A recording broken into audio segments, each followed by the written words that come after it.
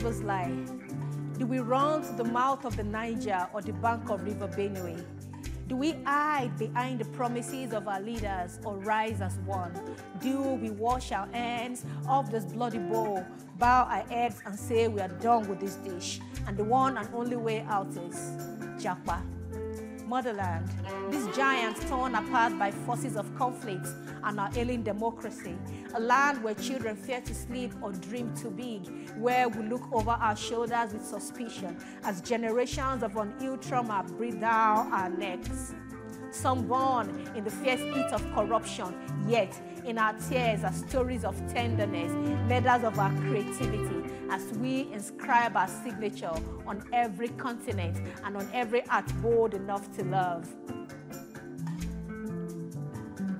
We are the precious stones of our bejeweled land. There are riches locked within you, one, two, and three. This land rises when we break the shackles of our mind. The slave order is reflected in how we think and act. Let this elevation free you to more. When we flip the chains of slavery and yank off of standardness and entitlement. When we do not wash our hands off our obligations, abandoning higher reasoning in a chase to boil the ocean.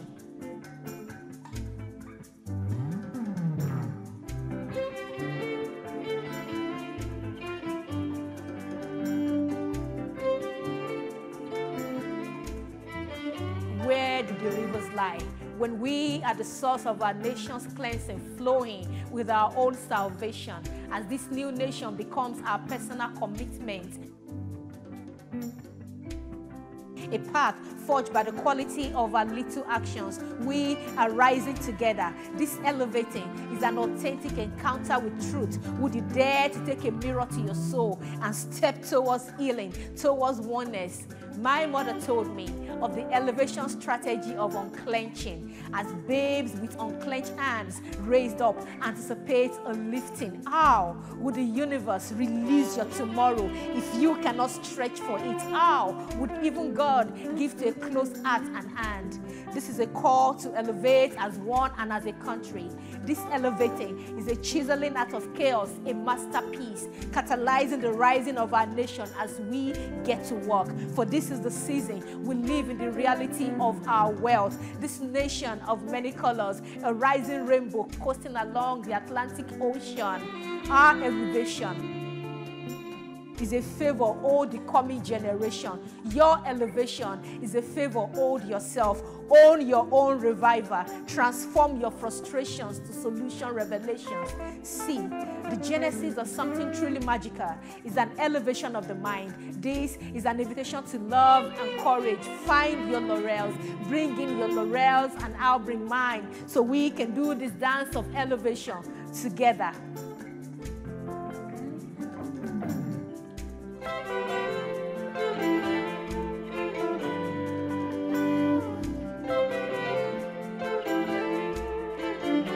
Culture and rules coloring our views pushes division. Like a cloak so tight we can't breathe freedom. Systems and governments may not always be fair. Can you rely on yourself to be fair? Break your own bias. Every citizen is deserving of honor. Let's dazzle with brilliance. And this brilliance is not the prerogative of one gender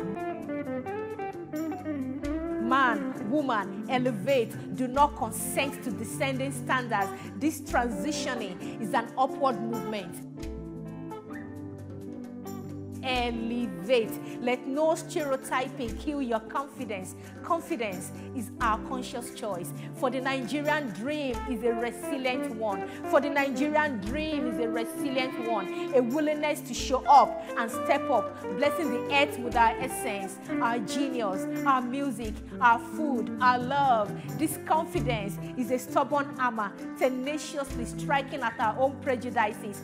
We are rising with courage, challenging wrongs and questioning assumptions. With our spirits unbroken, we are breaking biases, drying up the wells of injustice. Break the bias in domestic violence. The skirt is not a signal to violation.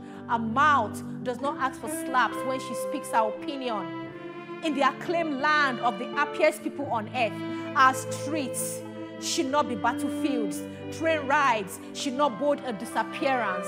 A bus ride should not transport one to the grave one chance. No, your fist should not take a star away from a galaxy. And the many pains we do not talk about. No, breathe. Motherland, breathe. I pledge to love you enough to arise, to quit waiting for light and become the light. So, where do the rivers lie?